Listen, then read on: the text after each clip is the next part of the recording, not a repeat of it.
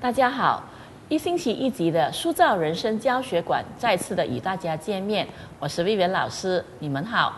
那今天呢，同样的老师会以一个案例，通过数字和名字去教导大家，看看这个名字和数字如何去影响着您的人生。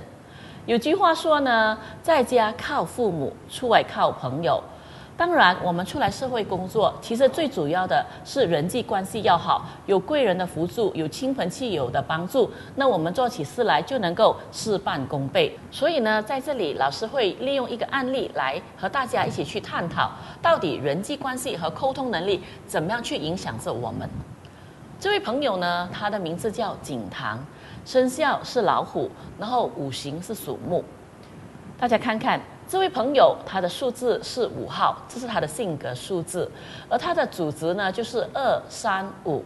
意思是说，这位朋友在讲话方面呢，通常都会比较的急，而没有好好的去思考。因为数字里面呢，它也有一二三的组织，一二三就是说讲话非常的直接。然后呢，他本身呢，在呃做事情方面呢，都往往会很多的犹豫不决，常常做事情不知道其实要选对什么。虽然他是一个五号的人，但是他都有一个一一二数字犹豫不决的这套数字组合。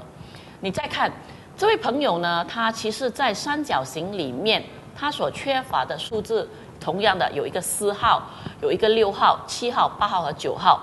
所谓的四号，就是说，你看这位朋友，刚刚老师有讲了嘛，他讲话很直接，做事情很犹豫不决，原因是在于呢。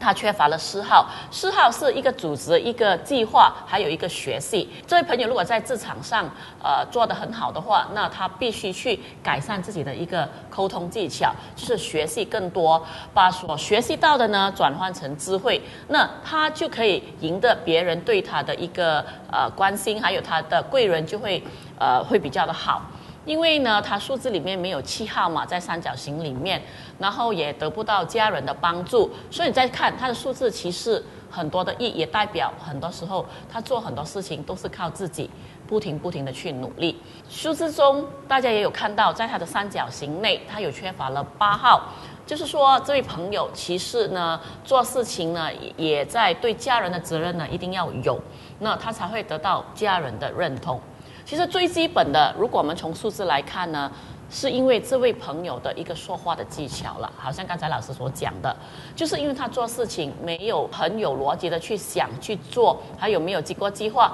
往往呢就造成他三角形外面的八七六，就是给到了他身边的人很多的压力，所以无形中呢，他的贵人的出现也会逐渐的减少。接下来我们去看看这一位朋友的名字，他叫做景堂。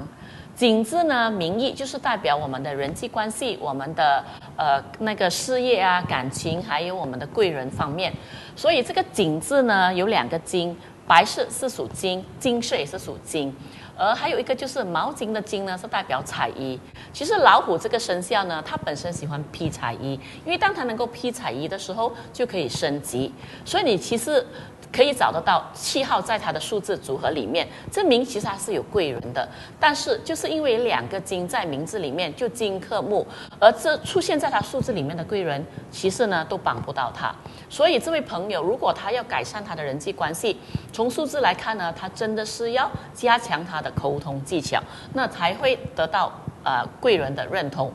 肯定这个名字一定要把它给改掉，才能够帮助得到他。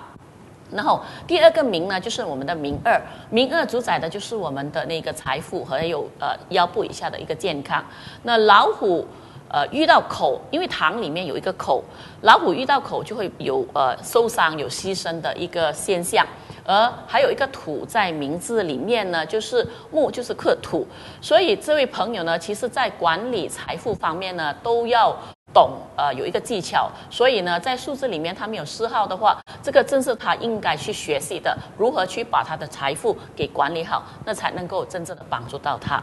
所以呢，讲到这里呢，其实名字和数字怎么影响这这一位朋友呢？老师已经大约的跟大家讲解了。那接下来的下一集呢，老师会继续的跟大家讲解这位朋友的这个数字如何去啊影响到他的健康。那我们下一集再见喽，再见，拜拜。